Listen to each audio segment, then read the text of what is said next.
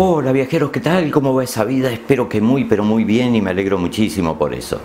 Hoy nos hemos venido a las alturas. Como pueden ver vamos a hablar de alta montaña, concretamente del mal de alturas, también conocido en muchos lugares como soroche, apunamiento, mal de páramo y bueno, y otros nombres según el lugar donde se encuentren. Pero esto, a diferencia de lo que mucha gente cree, no afecta exclusivamente a los montañeros, aquellos que se dedican a escalar grandes montañas, ni tampoco a los que hacen senderismo de alta montaña. Hay muchísimos lugares turísticos importantes e incluso capitales de países que están por encima de, de esa cota donde empiezan a aparecer los síntomas. Para que se den una idea, por ejemplo podemos nombrar de los más conocidos La Paz y Sucre en Bolivia, Cusco y Machu Picchu en Perú, Quito en Ecuador, Bogotá en Colombia, Lhasa en el Tíbet y prácticamente todos los centros de esquí del mundo. Como ven, son lugares a los que podemos llegar a ir en algún momento.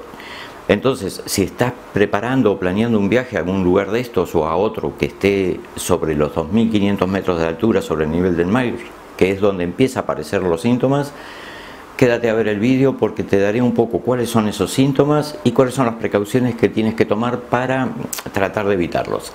Así que bueno, vamos a la presentación y nos vamos a la alta montaña.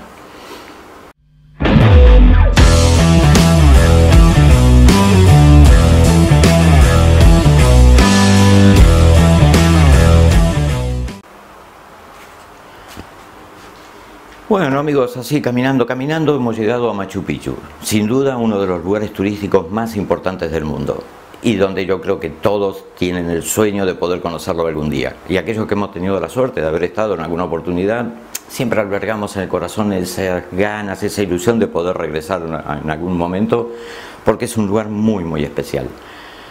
Cuando vas a Machu Picchu se hace base en Cusco, que es una gran ciudad con toda la infraestructura turística necesaria. Y estos dos sitios, en el caso de Cusco, está a unos 3.400 metros de altura sobre el nivel del mar y Machu Picchu a unos 2.700.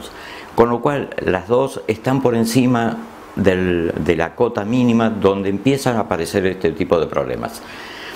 Ahora bien, esto no le ocurre a todo el mundo la mayoría de la gente ni se entera, pero en algunos casos, y no se sabe exactamente por qué, porque ni siquiera es un tema de, estado físico, hay gente que, deportista con un estado físico tremendo, y sin embargo les da, y otra persona que tiene condiciones normales, no tiene problemas. Lo que sí se sabe que es inversamente proporcional a la edad, o sea que cuanto más joven seas, hasta llegar a los 50 años, tienen más posibilidades de que les dé. A partir de los 50 años ya es más difícil.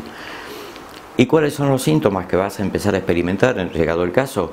Bueno, son en primer lugar mm, por ahí una sensación de, insomnio, de problemas para dormir, fatiga, cansancio físico, dolor de cabeza, mareos, pero más tirando a vértigos, una sensación así como de, que no te puedes mantener en equilibrio, náuseas y vómitos, se acelera el ritmo cardíaco, el pulso, y en algunos casos hasta dificultad para respirar. Esas más o menos a grandes rasgos serían los síntomas, que no necesariamente se van a dar todos juntos, pueden aparecer uno, dos, tres, si aparecieran todos juntos ya es un tema serio, habría que ir al médico, pero hay también forma de, de contrarrestarlo. Esto se produce por un tema que se llama hipoxia, que es la falta de oxígeno. A medida que vamos subiendo en la atmósfera, esta se va haciendo cada vez menos densa, o sea, va bajando la presión atmosférica, por lo cual los alveolos del pulmón les cuesta más captar las partículas de, oxígeno para mandarlas a la sangre y que se repartan por el cuerpo. Y eso produce todas estas sensaciones para quienes no estamos acostumbrados. La recomendación más normal que dan es hacer un periodo de aclimatación, de adaptación.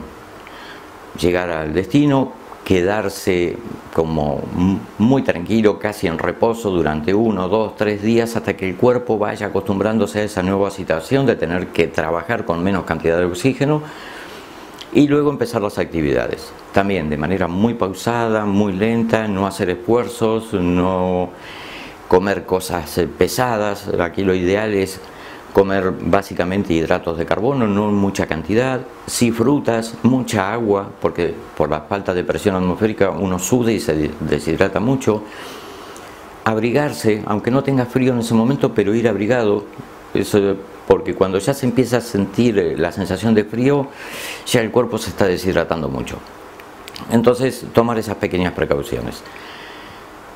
Lamentablemente cuando uno hace un viaje de turismo, que normalmente va por pocos días, no tiene ese tiempo de adaptación de 24, 48, 72 horas.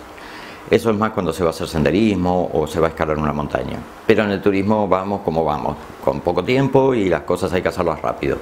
Entonces lo más recomendable es lo que les decía recién, movimientos lentos, no hacer grandes esfuerzos ni largas caminatas, una buena alimentación, una buena hidratación, se está hablando de entre 3 y 4 litros de agua al día y comenzar muy calmado. Una cosa que también es muy buena, especialmente en la zona de los Andes, si vamos a Cusco, Machu Picchu o la zona de Bolivia, es tomar un té de coca, que eso, la coca segrega una sustancia que ayuda muchísimo a, a que esto no ocurra.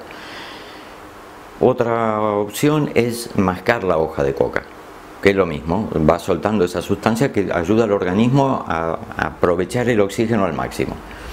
En otras regiones del mundo esto no existe, pero bueno, tomar esas precauciones de ir con calma. Y si tienes tiempo, que vas a hacer un trekking largo, o, bueno, ya si es montañismo ni hablar, tomarte el tiempo de adaptación. Y si llegas en un punto que va subiendo, va subiendo y empiezas a sentir esos, esos primeros síntomas, lo más recomendable es descender unos metros.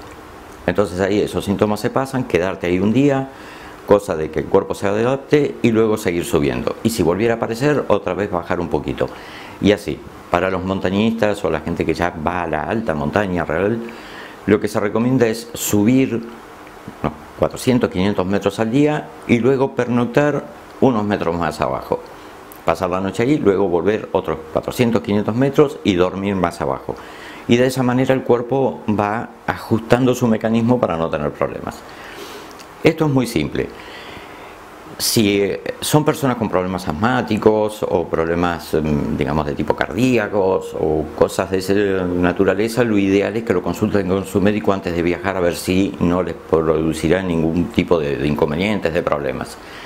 Tampoco es muy conveniente por lo que he estado averiguando, obviamente yo no soy médico, pero he estado más o menos informándome, y no es muy aconsejable tomar medicación, salvo algún pequeño analgésico para un dolor de cabeza, pero poca cosa más. Y si el problema persiste, entonces acudir a un médico. Como llevarán un seguro de asistencia médica, los atenderán sin ningún tipo de problemas y ahí ya les dirán todo lo que tienen que hacer. Pero bueno, esto no es para asustar a nadie, simplemente ya les digo, es una cosa que ocurre muy de tanto en tanto en estos centros turísticos pero que si te pasa y te empiezas a sentir alguno de estos síntomas no te asustes, es algo normal a esas alturas. Y bueno, y ahí incluso los mismos guías ya te van a dar los consejos como para aliviarlos. Así que bueno amigos, espero que esto les sirva, que les sea de utilidad, a disfrutar de la montaña y si les ha gustado darles un like, que se suscriban al canal si aún no lo están, activen la campanita para recibir las notificaciones, que lo compartan con amigos que también por ahí puedan estar organizando algo de esto y como siempre darles las gracias por estar ahí y ya nos veremos la próxima semana con otro tema. Hasta la próxima.